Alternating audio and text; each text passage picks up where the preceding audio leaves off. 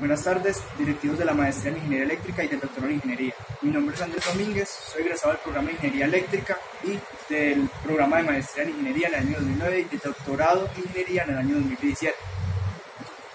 Em, durante mi instancia en la universidad participé del grupo de investigación de planeamiento de sistemas eléctricos, tuve publicaciones en revistas como la IEEE, el CEVIER y en congresos de la IEEE y por ejemplo en Brasil en el Sobrapo.